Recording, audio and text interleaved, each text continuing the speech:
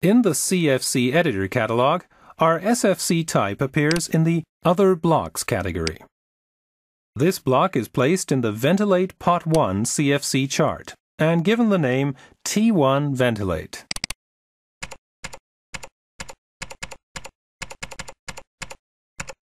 The interface parameters used in Simatic Batch were changed to be visible. Establishing connections between the two blocks is extremely easy in the CFC editor.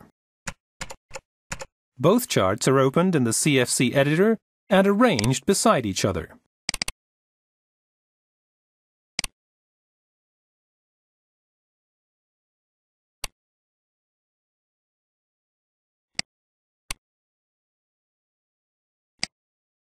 After selecting the input and output in the blocks, the CFC editor creates all the relevant interconnections to the valve automatically.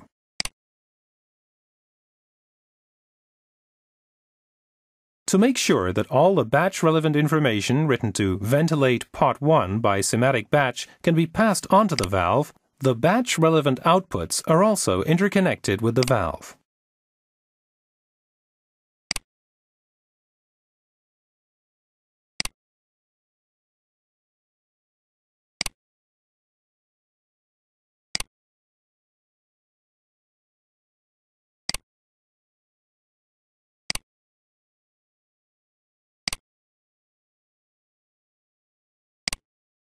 To ensure that the actual process value at the duration set point is displayed correctly in the OS faceplate and is also available for Simatic Batch, a connection must be established between the output of the current timer value and the process value input.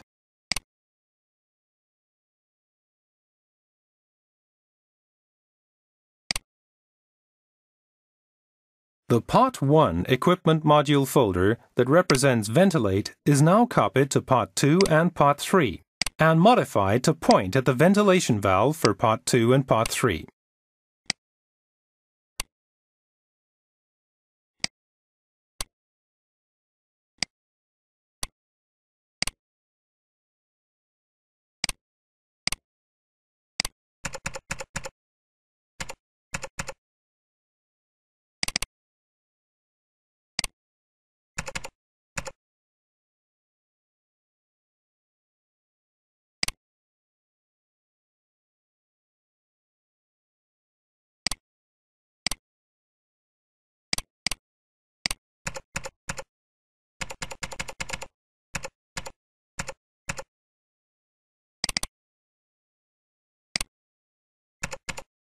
All names of the folders, charts, and function blocks need to be adjusted.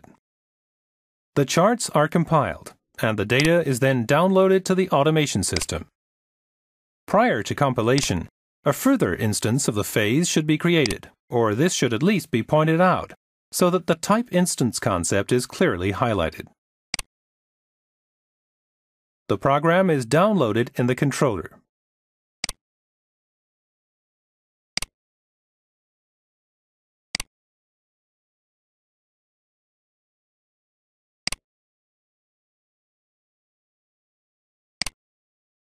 Now the changes to the OS are compiled.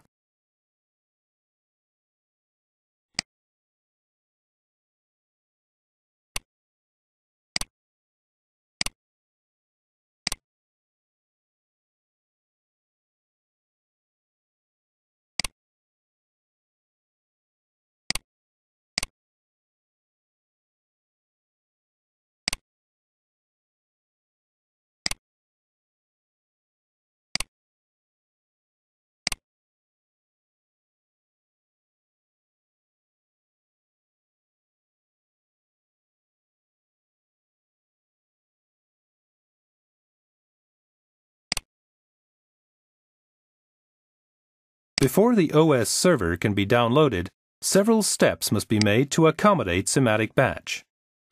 In the configuration dialog for Simatic Batch, the batch types are generated. This makes the ventilate phase available to batch. We then compile the batch instances and then download the process cell data to batch.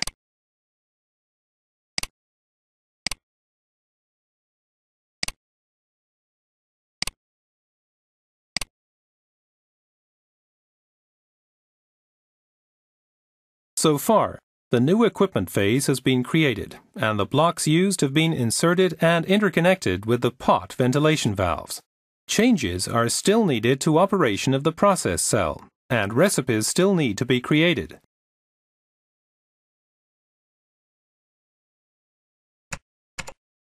To be able to monitor the new phase on the OS, an entry must be made to the OS faceplate. The modifications are made in the kitchen.pdl file with the graphics designer.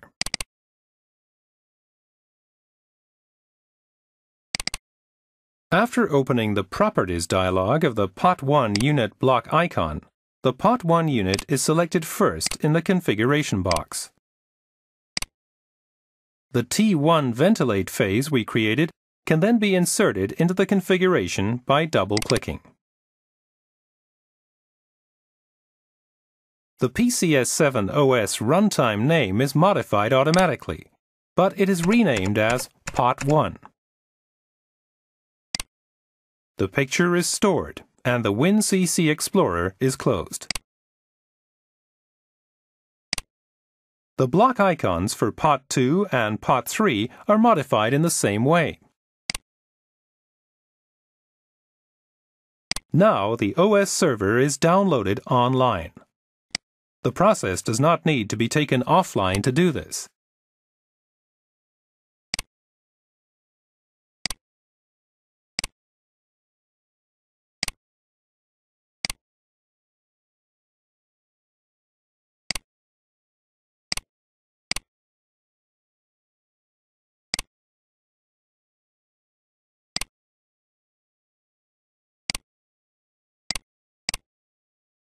The download is successful.